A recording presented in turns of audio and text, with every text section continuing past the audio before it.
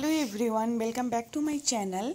शिक्षक नियोजन में 24 नियोजन इकाइयों पर होगी एफआईआर। 102 से अधिक नियोजन इकाइयाँ जाँच के दायरे में। 12 जुलाई को तीन इकाइयों में स्थगित की गई थी काउंसलिंग।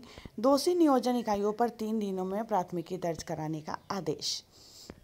वीडियो रिकॉर्डिंग का उपयोग कर जाँच तुरंत पूरी करें सभी डीईओ। प्राथमिक शिक्षा निदेशक डॉक्टर रंजीत कुमार सिंह ने सभी जिला शिक्षा पदाधिकारी को दो टुक कहा है कि प्रमाण के तौर पर काउंसलिंग के दौरान कराई जाने वाली वीडियो रिकॉर्डिंग और दूसरी डिजिटल माध्यमों का उपयोग कर जाँच तुरंत पूरी करें। साथ ही ऐसे सभी नियोजन इकाई की काउंसलिंग स्थगित करने की अनुशंसा भी तीन दिनों में करें। छठे चरण के प्राथमिक शिक्षक नियोजन के लिए 12 जुलाई को काउंसलिंग के दौरान हुई गड़बड़ियों को शिक्षा विभाग ने गंभीरता से लिया है। उस दिन मारपीट मेधा सूची में हेराफेरी, नाम पुकारने में गड़बड़ी जैसे मामले सामने आए। कई नियोजन इकाइयों ने तो दोपहर तक काउंसलिंग तक शुरू नहीं होने दी। शिक्षा विभाग ने तीन सौ तिहत्तर नियोजन इकाइयों की काउंसलिंग ही रद्द कर दी। शिक्षा विभाग अब इन सभी की जाँच जो है, करेगा। ठीक है? प्राथमिक शिक्षा निदेशक डॉक्टर रंजीत कुमार सिंह ने सभी जिला शिक्षा पदाधिकारियों से कहा है कि वे प्राथमिक नियोजन की अब तक की काउंसलिंग से, के संबंध में आई आपत्तियों की जाँच कर तीन दिनों में दोषी व्यक्ति, नगर निकायों व अन्य नियोजन इकाइयों के प्रतिनिधियों के खिलाफ प्राथमिकी दर्ज कराए।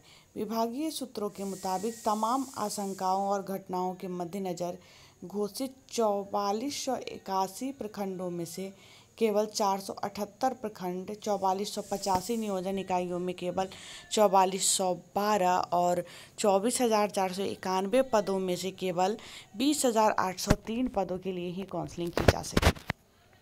शेष रह गई सभी नियोजन इकाइयों में दूसरे राउंड की काउंसलिंग के बाद ही नए सिरे से काउंसलिंग जो है वो कराई जाएगी। शिक्षा विभाग की इस सख्ती से नियोजन इकाइयाँ सख्ते में हैं। अब तक देखा जा रहा है कि नियोजन इकाइयों पर एफआईआर करने में कई तकनीकी बाधाएँ हैं। विभाग ने अपने स्तर से एक्शन का निर्णय लिया है। लिहाजा जिन नियोजन इकाइयों में विभिन्न स्तरों पर धांधली बरते जाने की सूचना है, उनके खिलाफ जाँच के लिए काउंसलिंग प्रक्रिया की वीडियो रिकॉर्डिंग की मांग की है।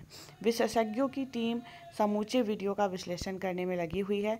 विभाग ने 100 से अधिक नियोजन इकाइयों के खिलाफ जाँच शुरू कर दी है। वे ए नियोजन इकाइयाँ हैं जो एफआईआर के लिए चिन्हित 24 नियोजन इकाइयों के अलावे है। ठीक है?